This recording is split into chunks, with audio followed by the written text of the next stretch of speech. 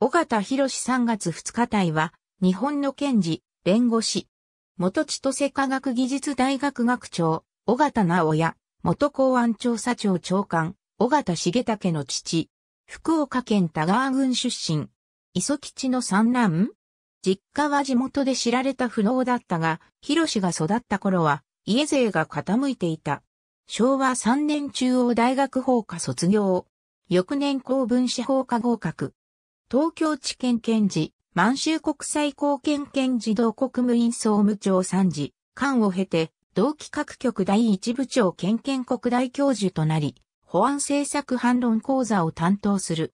中央大在学時代は、戦前の右翼、大アジア主義勢力を代表する、内田良平、遠山光といった人々を自ら訪ね歩き、その講演などに感銘を受ける政治青年だった。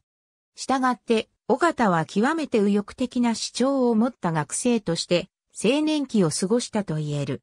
趣味は狩猟、ゴルフ、弓道。宗教は禅宗。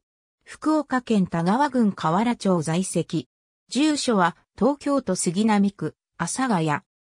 ABC 尾形重武著、公安検察私はなぜ朝鮮総連ビル詐欺事件に関与したのか57ページ。ABCDE 第21般人事更新読上よりハット AB 尾形、重武著、公安検察私はなぜ、朝鮮総連ビル詐欺事件に関与したのか58ページ。ありがとうございます。